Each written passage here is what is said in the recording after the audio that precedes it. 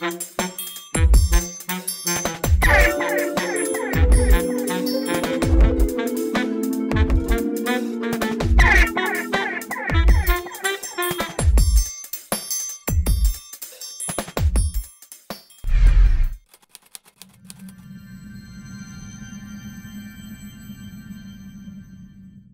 nasci em São Caetano do Sul, né? É, comecei a me interessar por, por, teatro, por arte desde pequeno.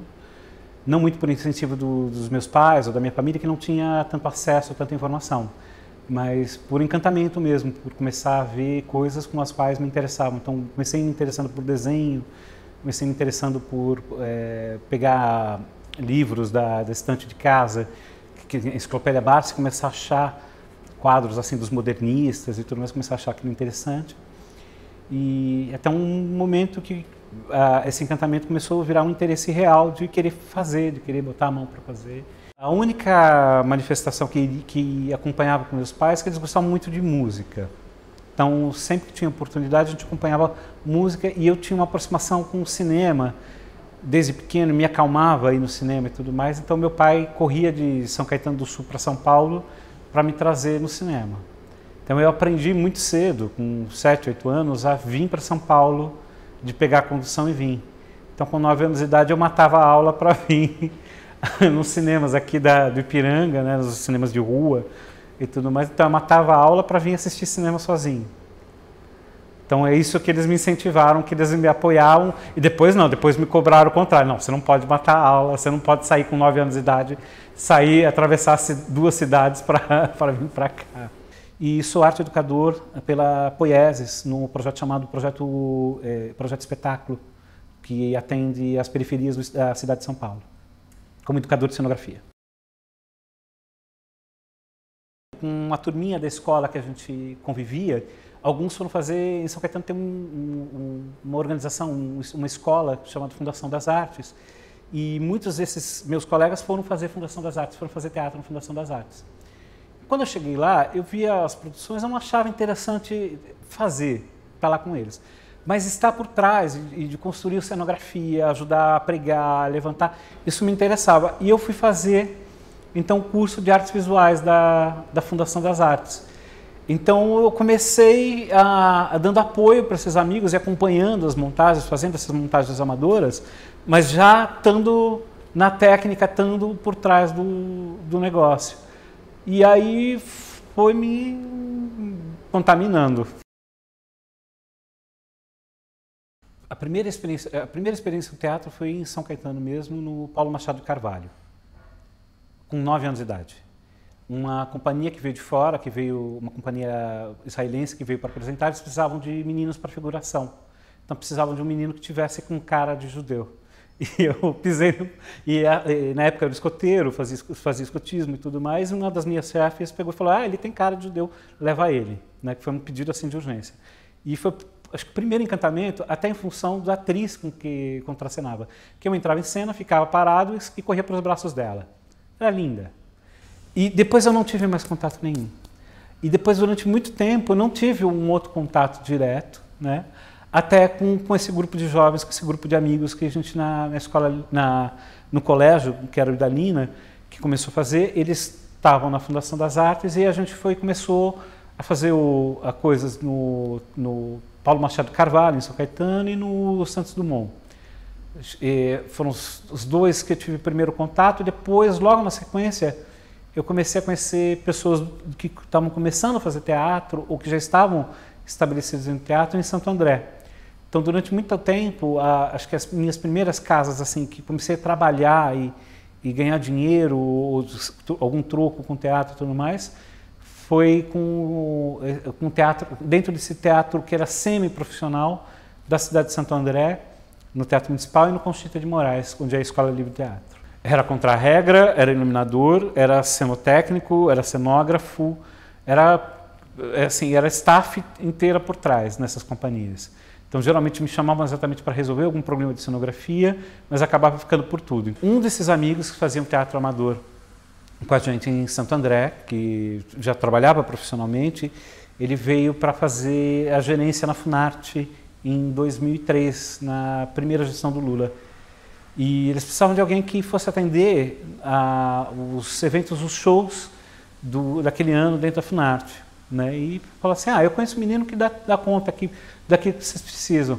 Pegou e me chamou. Mas eu já estava vindo com essas companhias durante as ocupações do Teatro de Arena, já, então já estava familiarizado com o espaço. Porque eu já tinha vindo para cá fazer quatro espetáculos aqui, e já em temporadas.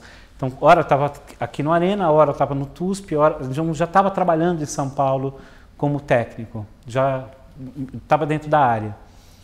E, e, aí surgiu esse convite, a princípio era só para atender os shows. Aí, a princípio era isso. Aí, quando eu fui ver, eu já estava três meses sem folga, correndo daqui para Nótima todo santo dia, atendendo sete companhias diferentes. Aí de repente eu estava assim.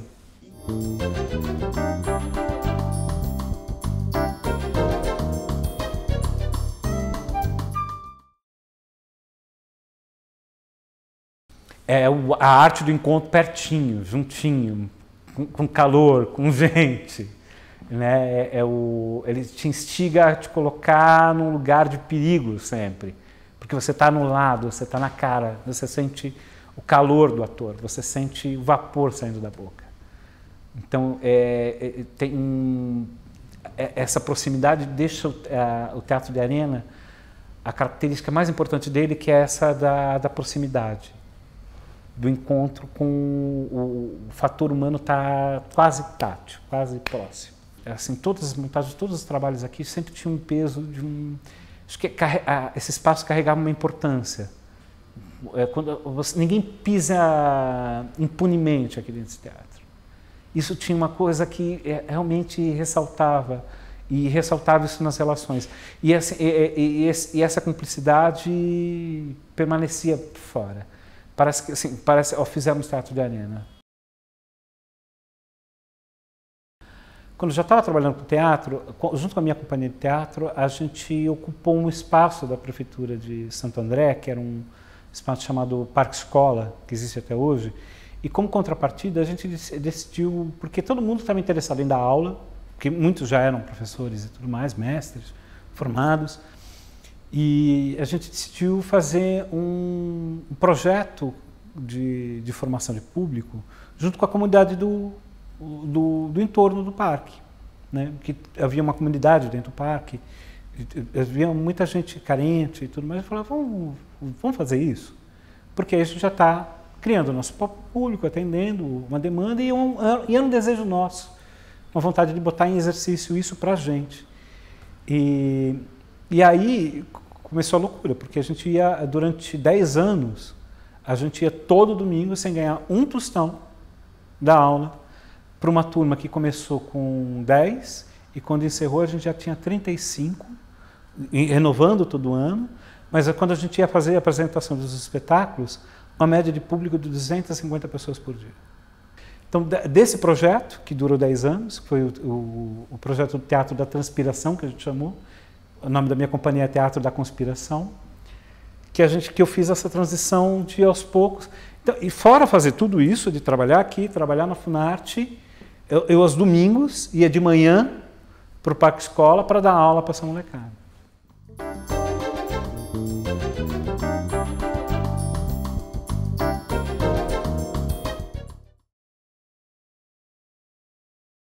E muito foram os outros técnicos. E muito foi essa lida do dia a dia, de aprendizado do dia a dia.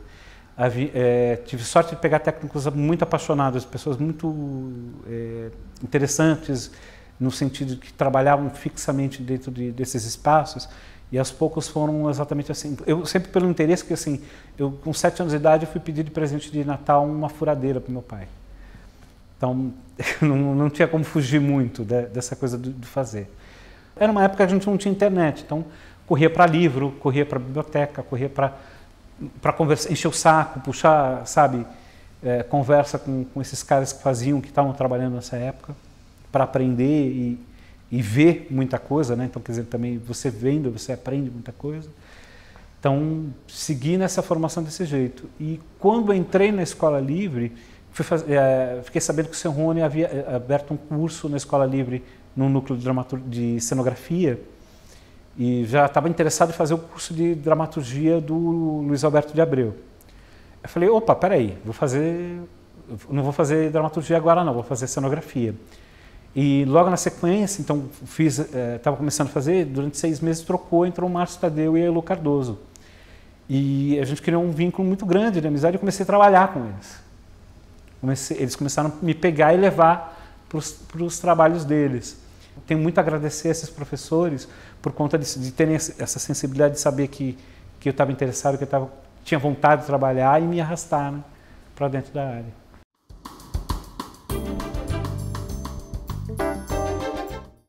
Primeiro que assim, um bom técnico de palco, um bom técnico de teatro, ele tem que ser um generalista. Ele tem que entender do universo, tem que entender de tudo. Tem que entender de atuação, de encenação, tem que entender da lâmpada, tem que entender da, da, do fio elétrico, ele tem que saber de tudo isso. Um bom técnico tem que saber disso daí. E a outra coisa tem que ser sensível. Que não adianta só saber tudo isso e ser arrogante. Não adianta só guardar isso para ele. Porque ele está a serviço do teatro. Ele está a serviço de uma coisa que é muito maior, que é a arte, que é o teatro. trabalho de um artista plástico, de um artista visual, é extremamente solitário.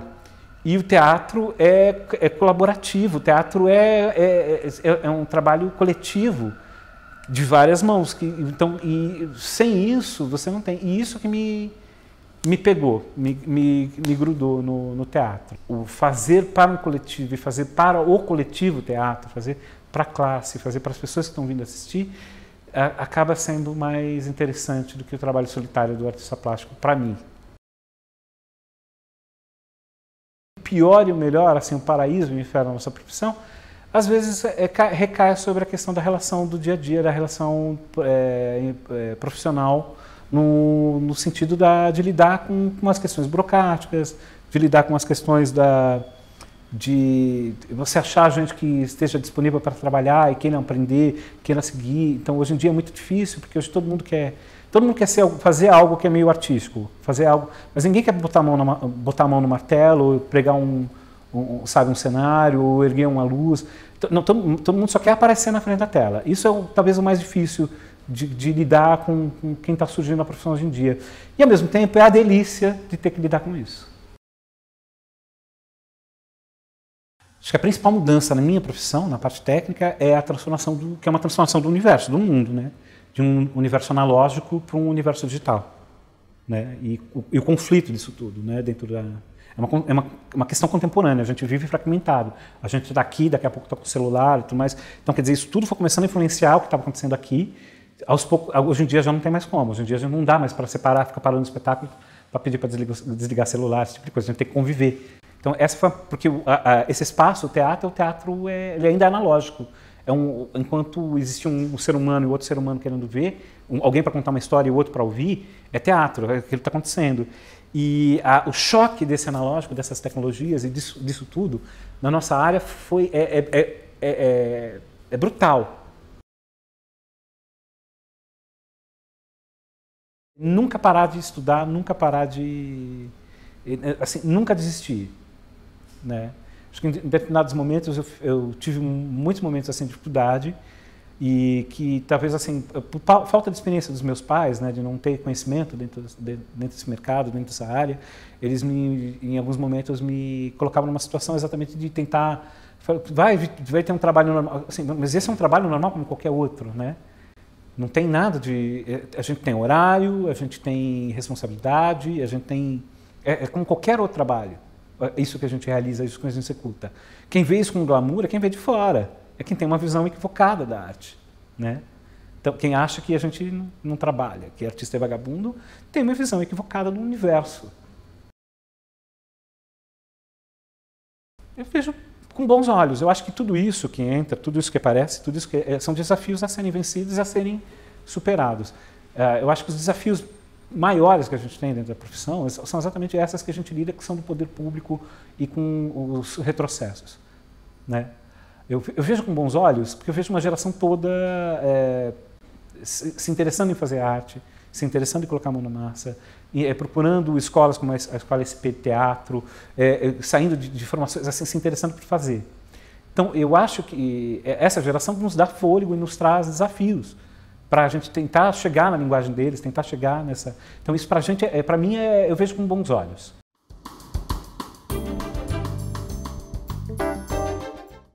Teatro é a arte do encontro. A gente não faz teatro sozinho. Conhecer os grandes aqui do Arena, né? O Zé Renato, o... conhecer o Chico de Assis, conhecer o Guarnieri, conhecer o Boal, conhecer o Plínio Marcos. Então, são, são coisas que me possibilitaram, mesmo que eh, a passagem dele tenha, tenha sido rápida na minha vida, né? E em, em, alguns casos, o Chico de Assis, não. O Chico de Assis eu convivi bastante, Zé Renato eu cheguei a conviver, a conviver bastante. O Abujanra também, que conheci por conta desse teatro, também convivi bastante. É, mas é, foi importante para a minha formação.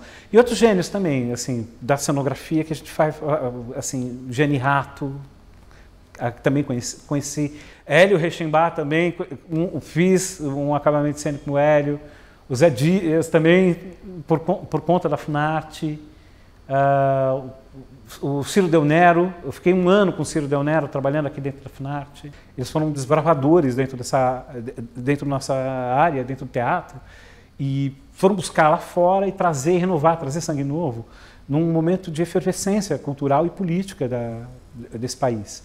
E assim, a genialidade deles é no fato de resistir, permanecer e continuar, né?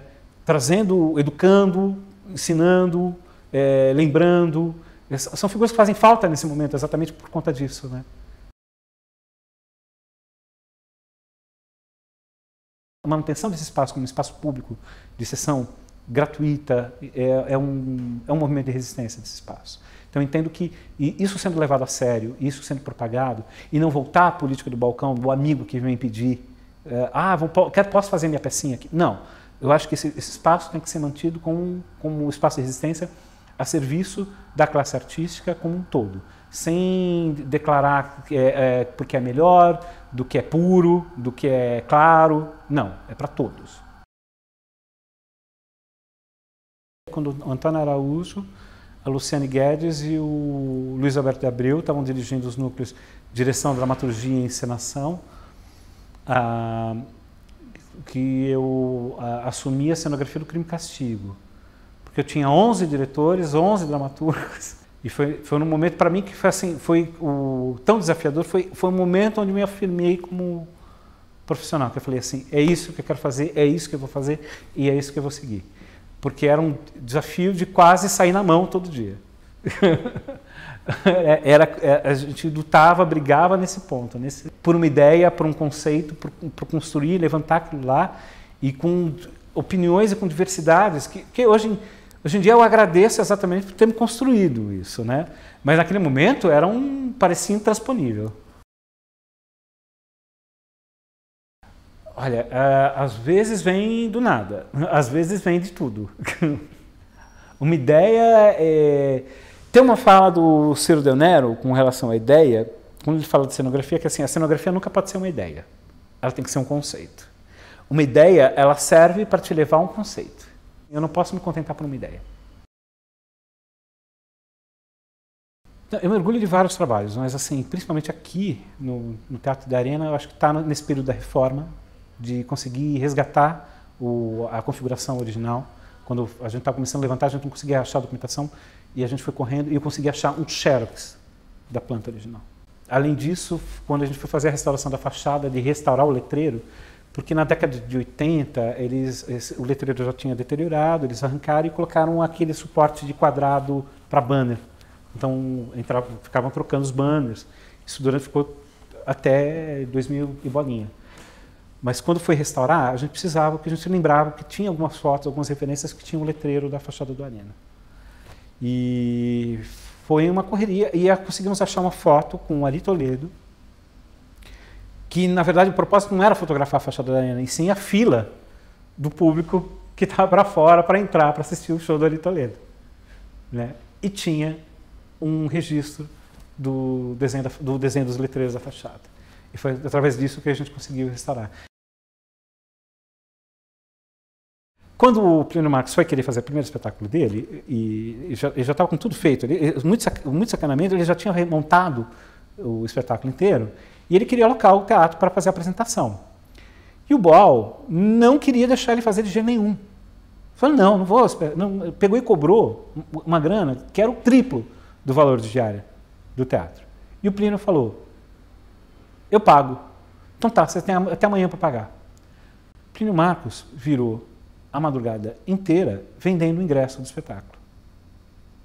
E chegou no dia seguinte, pagou integralmente o Boal. E aí todos os outros do, do falaram, você vai ter que deixar.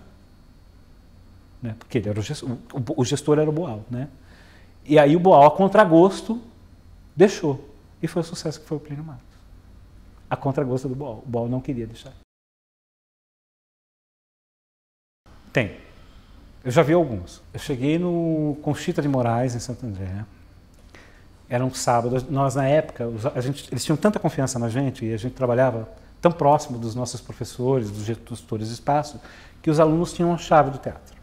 E eu cheguei mais cedo, abri a porta, fechei a porta, subi, tem uma escadinha, passei por onde tem a cozinha, tinha um senhor na cozinha. Eu falei, boa tarde. Ele respondeu, boa tarde.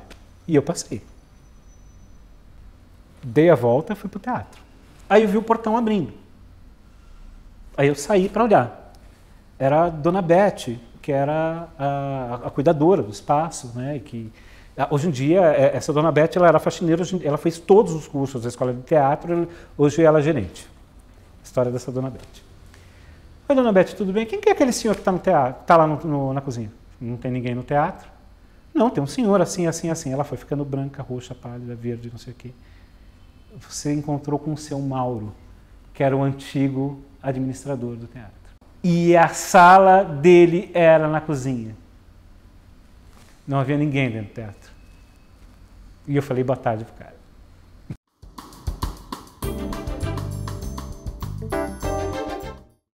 Eu continuo no teatro, não sai nunca de mim. É difícil isso, a gente não consegue sair disso. Isso permanece com você eu estou fora, mas aí eu estou vendo um filme, então eu estou pensando teatro, eu estou conversando com um amigo, eu estou pensando teatro. Então, quando eu estou fora de quando eu não estou trabalhando no teatro, eu estou vendo teatro, eu estou lendo teatro.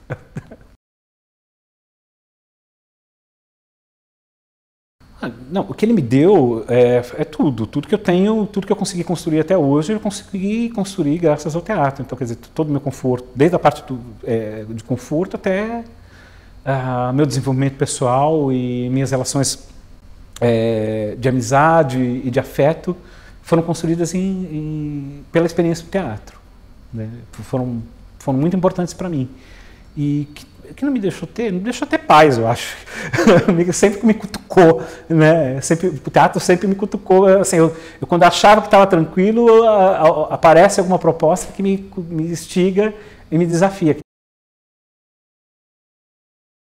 Nesse processo que eu disse do crime e castigo, foi just, culminou justamente com a morte da, de uma tia que morava comigo, que teve câncer, e o teatro fez com que eu me inserisse dentro do trabalho, né, para tentar expurgar essa, esse sentimento de tristeza, de, de potência, né, de que você ter, ter que cuidar de uma pessoa que tava, tava, tinha câncer e, e não tinha mais saída, era só paliativo.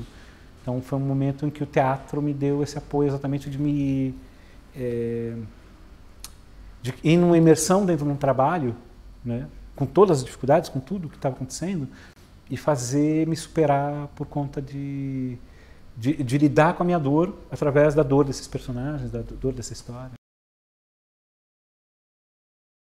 Da importância da construção e permanência de uma pauta pública aos teatros públicos dessa cidade que eles continuam sendo gerados de, e geridos de, de forma aberta, clara e objetiva.